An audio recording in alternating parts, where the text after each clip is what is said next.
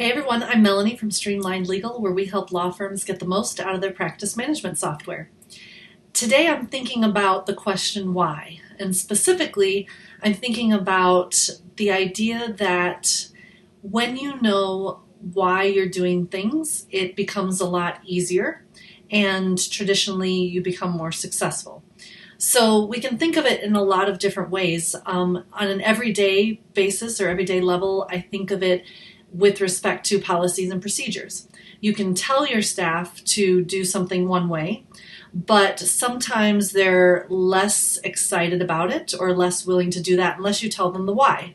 And then once they have a why, then sometimes it makes a lot more sense and they are a lot more willing to go along with things. And so that's one way that we look at why. But then the more bigger or global sense, it really has to do with your own internal motivations and why you do things. And so, um, for example, if we think about our jobs or our career, we think about, well, why are we doing something?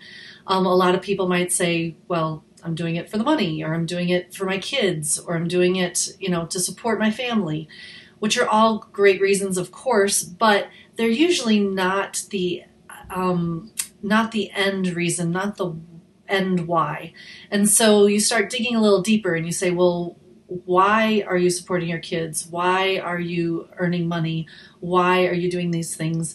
And it just takes it to another level and a deeper level. And you keep asking why until you find that underlying reason um, that's motivating you for a lot of the things that you do. So today I wanted to share with you some resources that I thought might be helpful if you're on this exploration and trying to find your why, um, there are some resources that I think are going to really point you in the right direction. So I'll list them in the comments, but the first one is called the Why Institute. And they've got a website that you can go to. They've got a lot of uh, different products they offer. But the thing that I found most helpful to start was they have an online quiz that you can take, and they will help you narrow in and find the um, the why that you may be looking for, and so that's very helpful.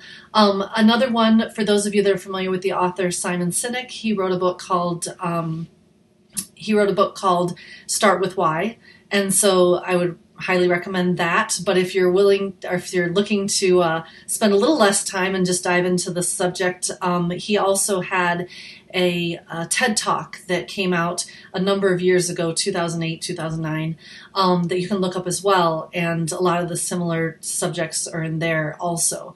So I'd encourage you to check out these two great resources and start exploring the idea of why, because I often find that the more business owners I meet and the more law firm owners that I meet, it's really not something that they've put a lot of time or energy or thought into.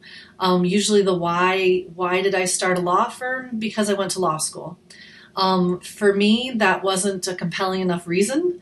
Um, so I think that a lot of times the why is really hidden underneath somewhere. And the more that we can think about it and the more that we can start asking those probing questions, the more likely we are to find it and the more likely it is to help propel us into more success. And so I'd encourage you to start thinking about your why. And if you want to share it, I'd love to hear your why as well. So feel free to drop it in the comments and uh, we'll chat soon. Have a great weekend.